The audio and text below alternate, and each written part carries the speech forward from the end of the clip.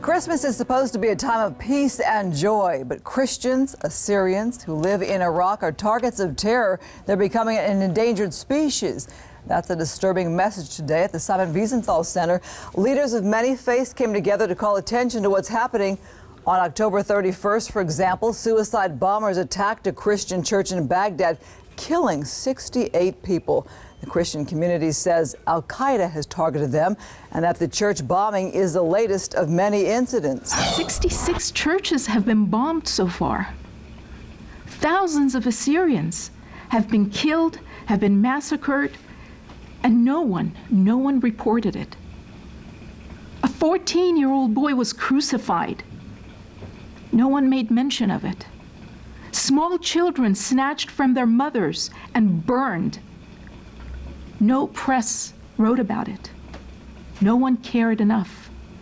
Thousands of Iraqi Christians are fleeing the country. Al Qaeda claimed responsibility for the church bombing and threatened more attacks. Joining me now is Rosie Malek-Yonan.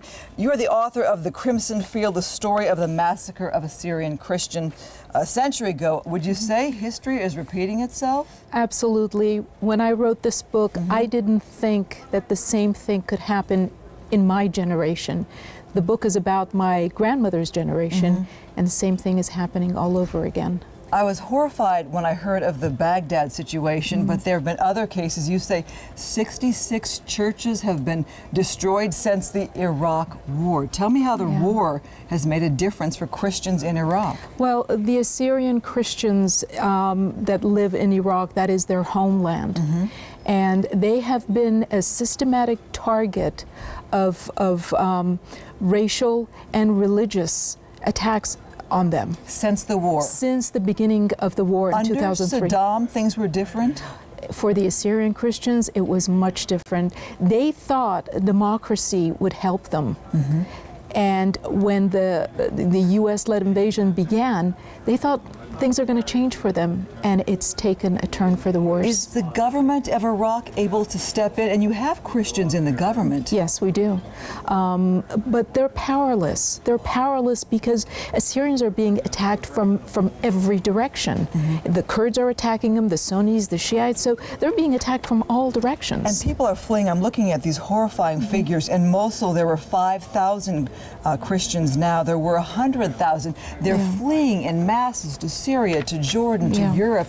Uh, is that the answer to flee Iraq? Um, that's not the answer because the Assyrians want to remain in their homeland. Mm -hmm. They don't want to leave, but they're being forced out. So when they're forced out, what can they do? If they're being attacked, if they're being kidnapped, their children are being attacked. And we should point out that they were there, the Assyrians were there before it was actually Iraq. Mm -hmm. uh, together, you came together with different faiths at the Simon Wiesenthal, Wiesenthal Center. What yeah. does that mean? Um, it means uh, to open dialog mm -hmm. It means that to look at humanity as, as all, we're all one. Mm -hmm. And especially at this time of the year, Christmas coming up. You know, I, I, I live here in America and I can comfortably go to church and pray. And my brothers and sisters in Iraq can't do that. It's a game of Russian roulette for them. They never know if they go to church, if that's going to be the last Mass, the last moment of their lives. Something we may take for granted here in this country, Absolutely. the religious freedoms that we have. All right, thank you so much, Rosie mm and you continue to talk about this, even testifying before Congress. That's correct. Getting the word out. Yeah. All right, Carlos, back to you.